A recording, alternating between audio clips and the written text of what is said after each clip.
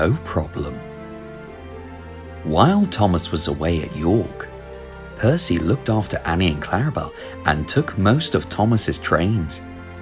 Daisy ran the first one, which connected with Gordon's Express at the junction. This made her feel very important. It shows how the Fat Controller depends on me, she told the others. Toby was in charge of the goods trains and ran down to the harbour. He enjoyed that. His stone trains were dealt with by Mavis, the diesel belonging to the quarry company. One day, snow on the other railway had delayed the train from London, so Gordon's Express was late too. While Daisy was waiting for him at the junction, the blizzard spread across Sodor. Huge white flakes whirled all around, and her driver was worried. Daisy wasn't. What fun! she said to herself. The other engines don't like snow, but I think it's pretty. And I've got the rails to guide me, so it won't give me any trouble. Her driver was not so confident. Daisy hasn't got the weight that a steam engine has, her driver told the guard. She can't push her way through, and we all know how Thomas got stuck, don't we? He's told us often enough, laughed the guard.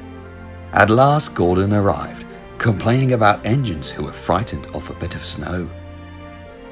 It's no problem, boasted Daisy. If you flimsy flakes can't stop me. Quite right, approved Gordon. Well done, but I'm late. I haven't time to gossip. Daisy started confidently, but as they turned towards the valley, the sky darkened and then was completely blotted out by whirling snowflakes.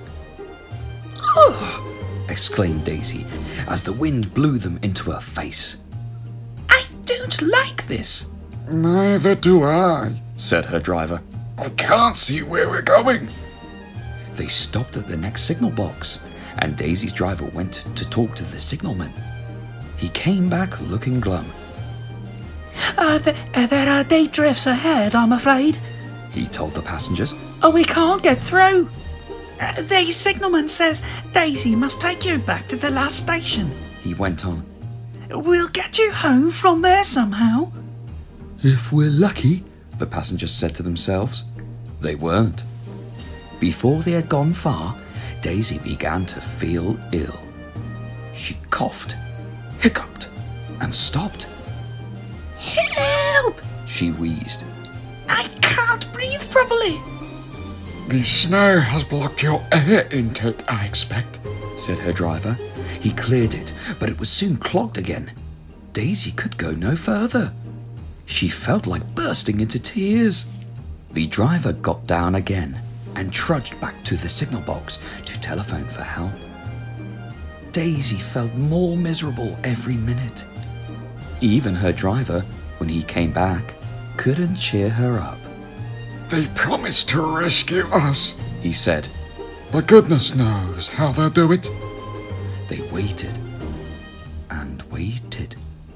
but no help came. The snow drifted higher and was soon piled all around Daisy. Suddenly, she heard a whirring sound from behind. Oh no! She thought. Not another blizzard! Daisy was right. It wasn't another blizzard. It was Harold the helicopter. He dropped hot drinks for the passengers, and when they were feeling better, he lifted them, one by one, into himself with what Daisy could only describe as a sort of chair thing. The passengers went to the airfield, where they were looked after until they could reach home. Harold couldn't help Daisy. It was cold. It was a cold, miserable week before Toby rescued her. She doesn't think snow is pretty now. The